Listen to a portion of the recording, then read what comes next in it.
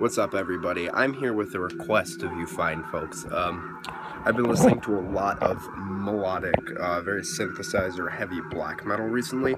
Sorry I'm so damn shaky. Oh my god, I'm gonna set this thing down. Hold up. But uh, yeah, I've been listening to lots of synth heavy black metal. Um, and I'm looking for recommendations from you guys. Um, the kind of there's a little square there that I feel like I'm supposed to be putting my face in. Anyway, very synth heavy. Um, not necessarily keyboards as Nocturnal Mortum is. I would give examples like uh, Bloodthorn from Norway, if you're familiar. Uh, Covenant from Norway as well. Uh, the Legion from Sweden.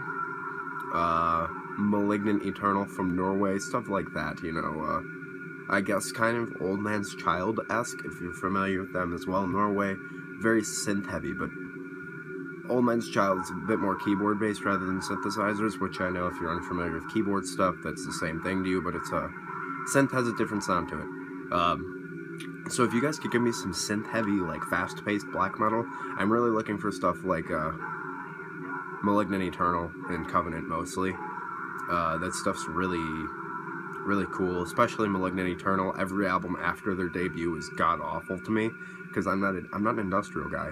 Like um, I don't know, I just can't get behind industrial stuff besides probably like Rob Zombie and White Zombie, which is really generic, but that's about it for my industrial tinged much of anything and some Blut Aus Nord, but I really only like their atmospheric stuff. But I'm getting off track.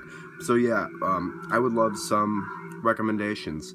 Give me some recommendations of synthesizer heavy, fast paced black metal.